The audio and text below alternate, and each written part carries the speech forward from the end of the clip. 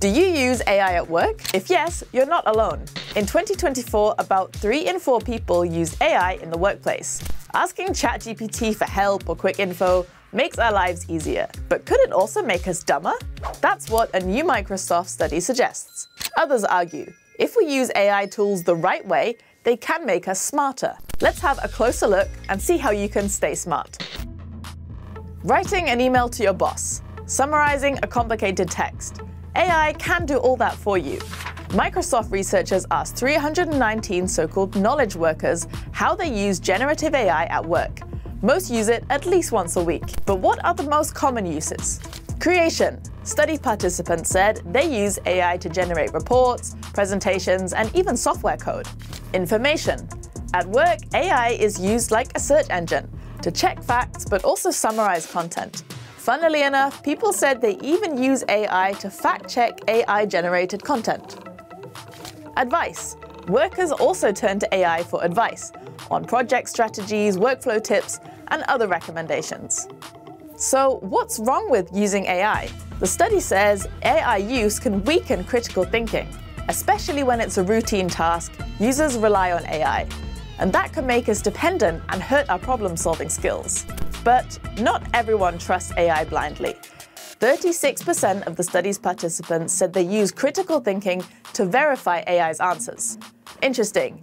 People with high self-confidence questioned AI results the most, meaning the more people trust themselves, the more they think critically. Bottom line, the study says AI can make us more efficient, but over-reliance could be risky. So how can we use AI to make us work smarter?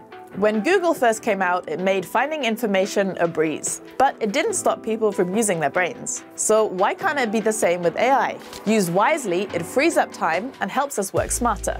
AI can sift through massive amounts of data, a task that would take humans much longer. That saved time can be used for critical thinking, like analyzing information. AI can create a personalized learning plan, which can boost your learning by offering more diverse perspectives. And AI can be a source of inspiration. Instead of letting AI do your creative work, you can use it to brainstorm ideas. That way, it can spark creativity and improve your work. So, is AI really making us dumber? It depends on how we use it. The Microsoft study revealed another key insight. People who understand AI's limitations were more likely to think critically and check results. Here's your AI checklist. Cross-check. Like with every piece of information you read, always verify with other independent sources, like media publications. And check the primary source. Question every answer. AI can hallucinate and make things up. An attorney in New York learned this the hard way when he used ChatGPT to research legal cases. Later, a court found out that the AI had made up cases, names, and citations. So, question every fact that AI tells you. Beware of bias.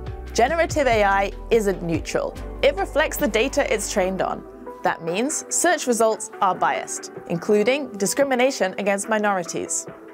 Last but not least, use multiple tools. That will help you cross-check information and get a more balanced perspective.